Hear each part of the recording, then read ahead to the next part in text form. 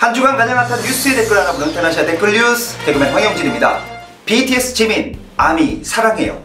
BTS 지민이 멜론 뮤직 어워드에서 트로피를 받았습니다. 그리고 지난 30일 지민은 공식 트위터에 이 상으로 보답할 수 있게 되어서 정말 행복합니다. 진심으로 감사합니다. 오늘 무대 보러 와주신 그리고 시청해주신 모든 아미 여러분 감사하고 사랑합니다. 조심해서 들어가세요 라면서 사진을 올렸습니다. 여기에 수많은 댓글이 달렸습니다.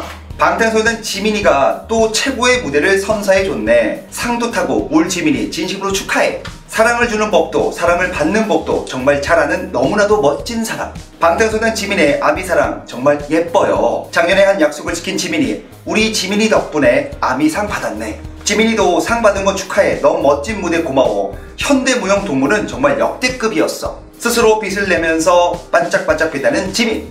방탄소년단 지민, 세계가 욕심내는 남자. 무대 마친 후 잊지 않고 팬들에게 따뜻한 글 올려준 팬사랑 최고 방탄소년단 지민이라는 댓글을 달아주셨습니다. 여기에 극소수의 댓글도 달렸습니다. BTS 지민아 멜론 트로피 말고 우리 트로피도 받아줘 라고 아이디 그래미 어워드님께서 달아주셨습니다. 개그맨 황영진의 한마디입니다. 아미를 늘 챙기는 지민 사랑의 아이콘 사랑의 신으로 임명합니다. 지금까지 테나시아 댓글 뉴스 개그맨 황영진입니다.